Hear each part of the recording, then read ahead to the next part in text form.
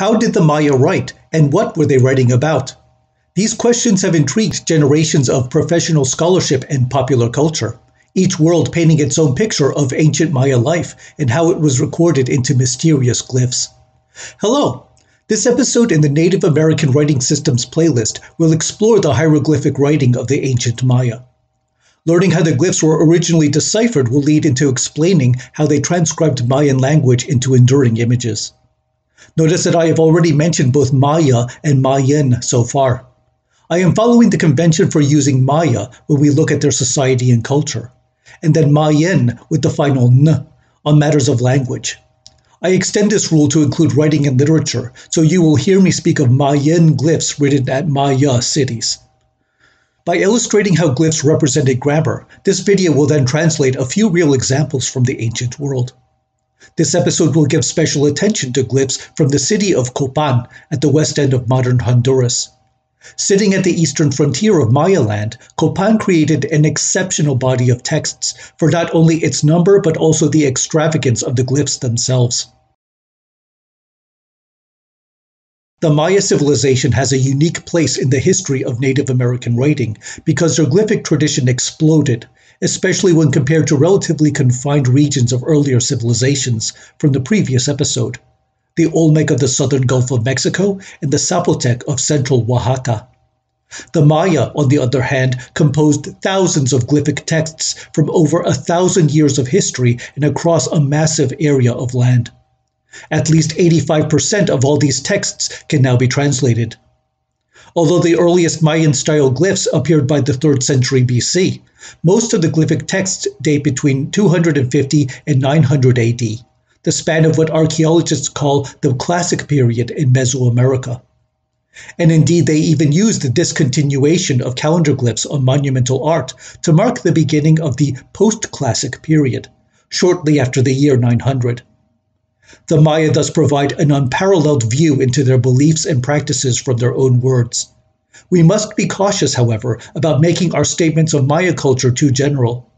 Practically all our surviving texts come from tombs, monuments, vases, and other such elite contexts. The values and knowledge among the ruling classes probably didn't match those of their commoner subjects, living off the land in more remote settings. The practice of writing itself had high status. Evidence suggests that the scribal profession was hereditary and it required intensive schooling. Because writing was dedicated to royal affairs, the scribes themselves belonged to the court. They could enjoy luxuries in both life and death, such as the wealth found in scribe burials at Copan. Writing even had mythic quality. The word for writing was tzip, which additionally related to painting. The most famous scribes in Maya myth were the monkey twins in the Quiche epic Popol Vuh, which portrayed them as master artists and scribes. The myth also spoke of the magical powers of possessing writing, such as the psychic abilities of Lord Cucumatz, who owned a book of the council mat, or Bo Popol Wu. The Maya deemed writing an instrument of royal and spiritual power. Michael Coe's seminal work on the history of Mayan decipherment pointed out that for generations scholars were debating whether the glyphs represented specific ideas of Maya thought or specific sounds in Mayan language. The previous episode in the Writing Systems playlist introduced logographic script, notably as it pertained to Zapotec writing. A logographic system has hundreds to thousands of characters representing distinct concepts, units of meaning, which the last episode identified as the morphemes of language. In many cases, Mayan glyphs do identify numbers, days, actions, and even cities. These glyphs therefore follow the logographic system, for they specify units of meaning in a Mayan language. But is this all they do, or could Maya writing also describe the sounds of their tongue? In the early 1860s, Abbot Brasseur de Bourbourg found the only known copy of the 1566 Report on the Things of Yucatan, a colonial manuscript by Friar Diego de Landa.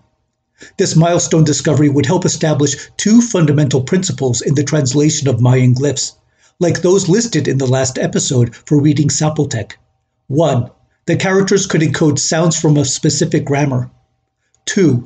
The specific grammar encoded in these characters is Mayan, related to the languages still spoken among descendants in the area. You may remember a previous episode in the Writing Systems playlist on Diego de Landa's infamous destruction of Maya codices in Yucatan. After the conquest, many Spanish clergy were writing down details of native languages and cultures to better understand their thinking, to convert them more easily, so went the belief. Look at the list of characters toward the bottom of this page. Landa was telling the Yucatec Maya to produce the characters matching each letter in the Spanish alphabet because he assumed that the Maya were also writing with their own alphabet. The text even gives a short sample sentence Ma inkati. I don't want to. This short passage was a vital step toward cracking the Maya code because it illustrated, by first hand account, matches between glyphs and sounds from a Mayan language. By that same logic, the glyphs written in ancient times must also represent the grammar of a Mayan language. It wasn't until the 1950s that Russian scholar Yuri Knorozov tested this hypothesis with glyphs such as those found in the Dresden Codex. One of the most famous cases involved a set of moon goddess images from the Dresden Codex. Each image in the series presents the goddess with a companion bird, a set of glyphs above. Knorozov noticed that some of these glyphs looked like signs from Landa's so called alphabet. Given that the Dresden Codex and Landa's report were both from Yucatan, Knorozov suspected that the glyphs in this passage could be naming the birds in view. One of these is the quetzal, a precious bird for its elegant plumage. Many Mayan languages name it kuk. Knorozov found the ku sign written back to back toward the top. This suggested that the Maya were combining these signs by their respective sounds to form words. The U glyph, also in Landa's alphabet, is a common prefix in Mayan languages for marking possession. It precedes a stylized glyph for the so called Muwan bird, one of the month names, and the final character stood for T. Altogether, the glyphs read Kuk Umut, the Quetzal is her bird indicating a mythical relation between the Quetzal and this part of the lunar cycle. Another bird in this series is the macaw, Mo'o. This time, Knorozov knew only the O value from the Landa diagram. It also appeared back to back, immediately following an unknown character. If the values would be read together as O, and the common Mayan name for the macaw was Mo'o, then this first character had to stand for Mo. The full name could thus be read as Mo'o. As Knorozov continued piecing together these signs, he could begin to read out phrases that made sense in the Mayan languages. One last example depicts a vivid dog whose name appeared in the glyphs for Tzu and Lu, combined to read Tzul. Again, this word could be corroborated with linguistic studies, for it appears in a colonial dictionary of Yucatec Mayan. The evidence was building for reading the glyphs with a knowledge of the Mayan languages of past and present. In fact, the consensus is that all the text composed in Maya land represented a single language, varying by only regional dialects. Linguists called the language Classic Mayan, and it was an administrative language used for stately affairs with kings, priests, and other officials across the Maya region. Classic Mayan was therefore a lingua franca, it belongs to the Eastern Cholan branch of the Mayan language group, with related languages spoken in the border region between southeast Guatemala and northwest Honduras. See if you can figure out what kinds of sounds these Mayan characters represent, and you may pause here to take your time. Each character specifies a consonant vowel combination, which can form syllables. This chart is therefore a syllabary, representing different sound groups with similar patterns of consonants and vowels. The signs from Landa's alphabet were also syllables, reflecting what the Maya thought Landa was asking for when he was listing letters in Spanish such as A, B, and Q. You may have noticed that some of the consonants appear twice, but with an apostrophe. See, for example, the ch and ch rows, and the k and k rows. These are examples of glottalized consonants, which you pronounce with a forceful stop. Many Mayan languages distinguish between regular and glottalized consonants. In classic Mayan, chich meant word or reason, and chich meant blood. Also, kab meant bee or honey, and gab meant hand. Several of these syllables even follow the rebus principle, which I introduced in a previous episode in this writing systems playlist. It was defined as the representation of sounds by combining their corresponding images. Examples of the rebus principle in this chart include ba for gopher, mo for macaw, and tsu for backbone. How could the mo sign represent a macaw? It's the eye. The Maya could combine these to form full words. An interesting note to raise here is that the classic Mayan language had a phonological rule for forming words, in that they could never begin or end with a vowel, only consonants. So, how did they apply that rule to these signs? Does the first row at upper left really stand for syllables with just a vowel?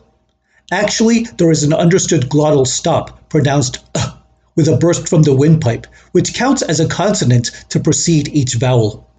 A, E, I, O, U. And for the last consonant in a word, use the syllable sign and drop the vowel. We will see examples in this video and the next. A Mayan glyph may use one or many parts. When it has multiple, there is usually one main element, the largest in the block as its base. Its affix elements may be attached to any side to specify a sound before or after the main part. When a single glyph has multiple pieces, each contributes to the overall reading.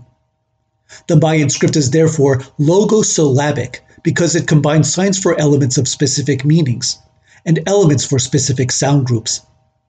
The syllable signs can also help with reading the main glyph. The month Yaxkin has a glyph that contains a solid boundary around a central X in the shape of a shield. Beneath it is a sign for the syllable ni, used here to remind the reader that this part of the word ends with n. The syllable isn't adding any new sound to the phrase, but rather reinforcing how to properly pronounce it. These can appear at either the beginning or the end of a word. Linguists call this a phonetic complement because it helps clarify the intended pronunciation, and therefore the intended meaning. Phonetic complements have appeared in logographic systems in other parts of the world, such as Sumerian cuneiform and Japanese okurigana. A convention for transcribing characters into Roman letters is to write logographic symbols, those which convey the language's morpheme elements of meaning, with capital letters. Syllables and other phonetic markers, which represent the sounds in a language, are written in lowercase. The site of Copan is celebrated for its extraordinary creativity with glyphic writing. This example is from a stele monument, which the Maya inscribed on at least one surface to commemorate important religious or political events. This one is Copan Stele A, and the original is at the Sculpture Museum by the archaeological site. Glyphs run down its sides and back. They describe how the current king performed rites reenacting mythic events that would culminate with a deposit of ritual artifacts in front of the stele. It was dedicated in the year 731 AD. The renowned scholar Linda Schele sketched the glyphs on the back surface, which has helped preserve their original clarity for future reference. The Los Angeles County Museum of Art has gracefully granted permission to display her illustration of Copan Stele A. A full reconstruction now appears where the original stood, in the city's great plaza. Here we will see how one glyph could express an entire phrase, in this case the name of a supernatural being. We will also follow the conventions I gave for transcribing the elements into Roman letters. The first element is the U prefix, the first of the three U syllable signs listed in the chart. As we saw with the Macaw translation, the U prefix marks possession. Because it is a syllable sign indicating sounds, we make it lowercase, and we show its phonetic attachment to the glyph with a hyphen. Next is the morpheme for bach, meaning image or likeness. This is another rebus example as it uses the image for gopher, ba, to represent the word bach. This glyph is representing a full unit of meaning, in this case the concept of an image, so it is a morpheme in the classic Mayan language. We therefore convey it in capital letters. Beneath it is a glyph for he, which reminds us to pronounce Bach with the aspirated ch at the end. It is a phonetic complement, like the one we just had for the Yaxkin glyph. The reading so far, the image of. Whose? Let's finish reading. The phrase continues above to the right. A double flame often means fire, kach, which is a morpheme. This character is thus logographic, not syllabic, and so we put it in caps. The next two glyphs are also logographic because they describe units of meaning. Kinich for great sun, and then Chan for serpent. Notice that we connect these parts with periods instead of hyphens. Periods tell anthropologists to read the parts together as units of meaning, and hyphens for units of sound. One more hyphen attaches chan to its phonetic complement, the na syllable. You can also find this sign in the syllable chart. This entire glyph reads Ubach Kach Kinich Chan, the image of the fiery sun shield serpent referring to a mythic being that the king impersonated during a ritual celebrating the turning of a major calendar cycle. Which king did this? Below we see the glyph with his name, Washak Lahun Upach Kawil, 18 images of the lightning god, 13th king of the Copan dynasty. Maya scribes usually compose glyphs into pairs to read left to right, then downward. Most of the stelae monuments at Copan followed this pattern. Other media, such as ceramics and codices, used this reading convention as well. Other texts were written in a circle, especially for ceramics such as vases and plates. Using the rules introduced in this episode, the next one will translate a Mayan text from one of these plates. Join us for the following installment.